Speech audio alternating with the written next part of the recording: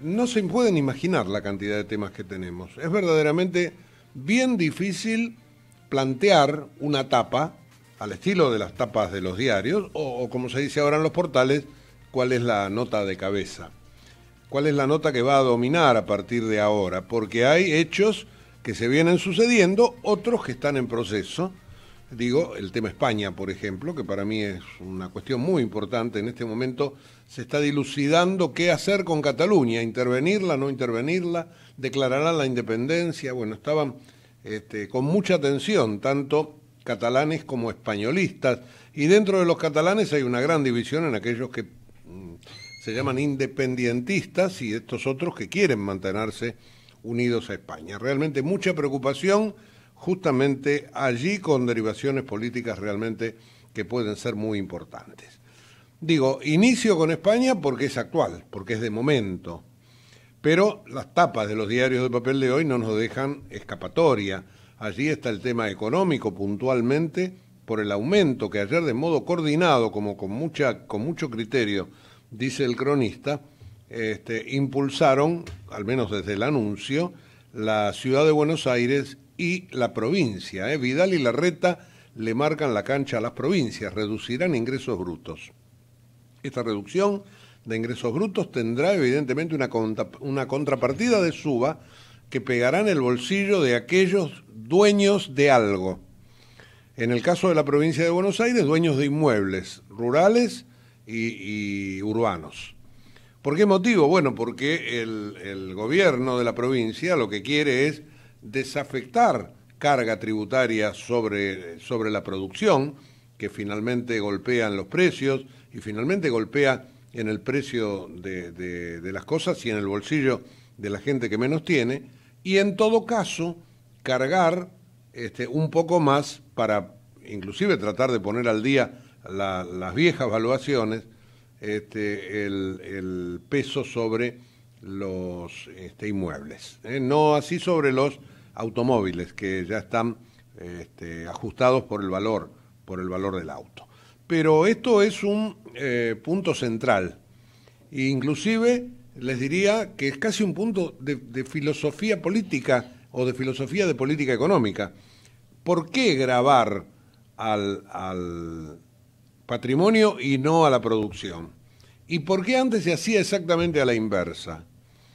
El gobierno populista escondía los impuestos, claro, no, convenía decir que se cobraban, pero por otro lado te los enchufaba vía precios en el bolsillo de todos, insisto, en el bolsillo de los que más sufren inclusive, cosa que sucedió con un montón de cosas durante muchos años.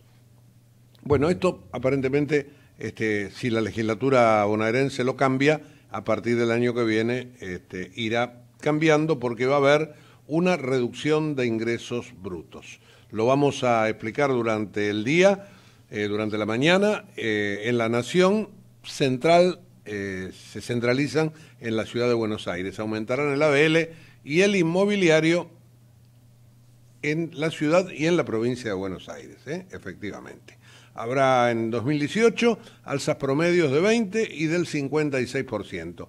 Y bajan ingresos brutos y sellos. Eh, les acabo de explicar cuál es el fundamento, porque de esto es de lo que este, se estaba este, comentando ayer en la provincia fundamentalmente.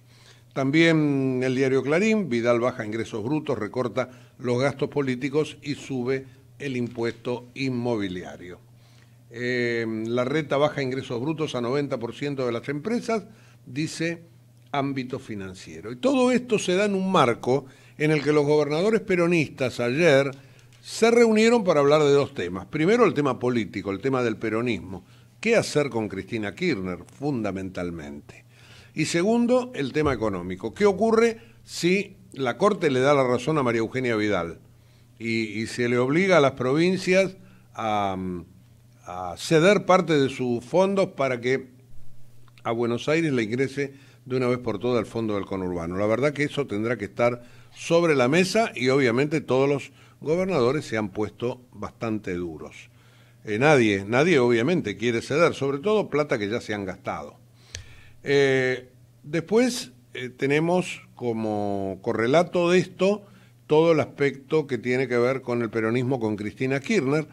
Ayer se supo que los senadores, en la voz de Miguel Pichetto, en un reportaje que va a aparecer mañana en el diario Perfil, pero que Jorge Fontevecchia adelantó en la web, que el Senado tiene un, código, eh, no podemos hablar de jurisprudencia, pero un código al menos, que dice que hasta que no esté la última instancia agotada, eh, sin apelaciones de por medio, hasta que el fallo no esté totalmente firme, eh, no habría que desaforar a ningún legislador. Y eso es aparentemente lo que pasará, lo que pasó con Carlos Menem y lo que va a pasar con Cristina Fernández. Eh, no se van a conseguir los dos tercios. Es un modo de decir que eh, Cristina va a ser senadora a partir de diciembre. Y ayer la expresidenta estuvo en Comodoro Pi, fue por la mañana, cuando terminó nuestro programa ya salió, habló ante 200, 300 personas, este, mucha dirigencia, algunas caras realmente, este, bueno, no, de las más agradables, pero dijo algunas cosas que le dejó un escrito a Claudio Bonadío, que ni siquiera lo saludó, que hizo corregir el acta, bueno, etcétera, etcétera, etcétera. De eh, Santiago Maldonado, ni una palabra. De Julio Devido, ni una palabra. Del peronismo tampoco. Él echó la culpa al gobierno de Macri y a la corporación judicial.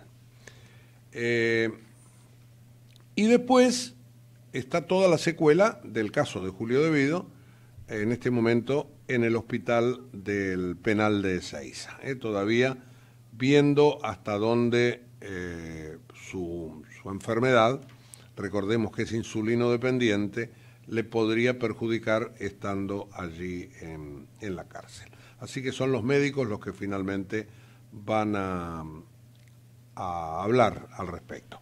Eh, ayer también se supo que en tres semanas va a estar el fallo eh, sobre el juez Freiler. Está suspendido en este momento. Ah, en tres semanas van a definir en el Consejo de la Magistratura si se lo destituye o no. Así que hay muchos temas, todos enlazados, enlazados por la plata, por la política.